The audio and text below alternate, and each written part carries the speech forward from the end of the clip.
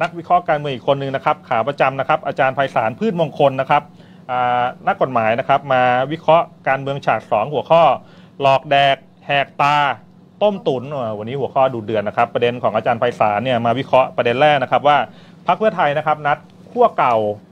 มาหารือสองวันซ้อนนะครับ คือวันที่ 22 และ 23 กรกฎาคม ซึ่งรู้อยู่แล้วว่า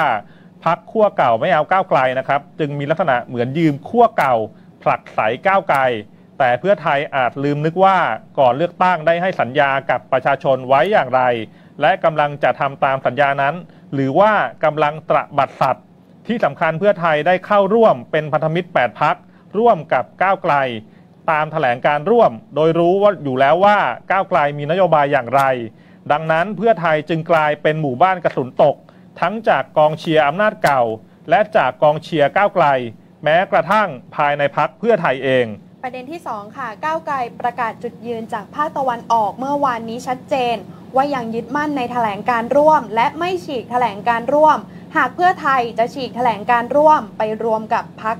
ขั้วเก่า ก็เป็นเรื่องของเพื่อไทยต้องรับผิดชอบต่อประชาชนเอง ประเด็นที่ 3 ค่ะ การเคลื่อนไหวการเมืองกำลังยกระดับไปอีกขั้นหนึ่งแล้ว ทั้งในสภาและนอกสภาด้านนอกสภานั้น ถ้าหากปรามาสว่าม็อบจุดไม่ติด ก็จะเป็นการตั้งอยู่ในความประมาทอย่างร้ายแรง การชุมนุมท่ามกลางสายฝนที่อโศกเมื่อวานนี้ และอีก2จังหวัดในภาคตะวันออก บอกชัดว่าการต่อสู้นอกสภาไม่เหมือนเหตุการณ์ชุมนุมในอดีตอีกแล้ว ประเด็นที่ 4 นะครับอาจารย์ไพศาลบอกว่า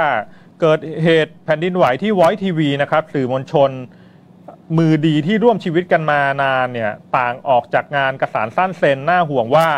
บทบาทเดิมจะหยุดหรือเลิกกันแน่ ซึ่งเป็นสัญญาณความเปลี่ยนแปลงใหญ่ที่กำลังเกิดขึ้น และอาจเกิดขึ้นในพักเพื่อไทยด้วย ประเด็นที่ 5 การเลือกตั้ง นายกรัฐมนตรี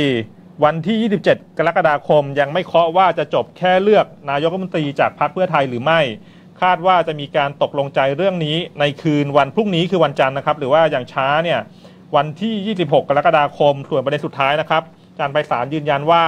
ลุงป้อมไม่ลาออกจากหัวหน้าพักพลังประชารัฐ และจะไม่มีนายกรัฐมนตรีจากคนนอกนะครับแฮชแท็กรัฐบาล 66 นะครับอะอันนี้ก็เป็นความเห็นของอาจารย์ไพศาลพืชมงคลนะครับ